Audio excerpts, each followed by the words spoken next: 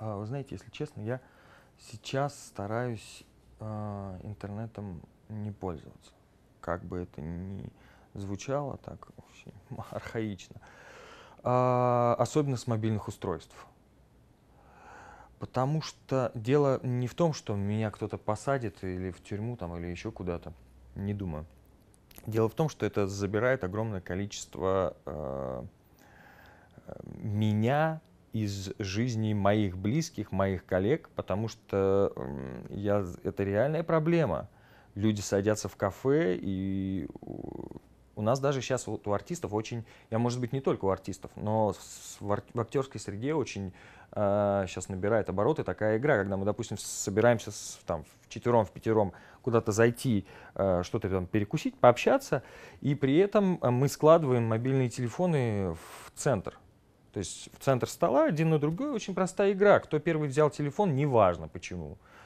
Э, Какая-то срочная новость или что-то там утюг, молоко убежало, плевать.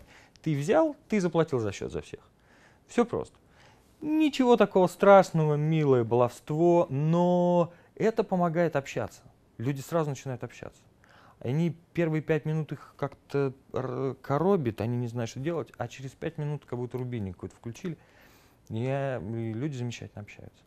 Поэтому, я- безусловно, интернет — это важная и нужная вещь, особенно для тех, кто находится на огромном расстоянии, как-то, да я думаю, что не только делиться впечатлениями, но и работать и так далее. По поводу цензуры, мне кажется, что должна быть определенная цензура, безусловно, но при этом я бы оставлял какие-то островки свободы, э, чтобы, ну, иначе мы в- будем в обществе Оруэлла, но это же тоже сейчас как-то не, не нравится, когда за тобой все время следят, хотя я думаю, что все время следят за, за всеми. Уже у меня такое ощущение. Я не сторонник теории заговора, но тем не менее. Поэтому такой двоякий ответ 50 на 50. С одной стороны надо, с другой стороны, смотря как надо.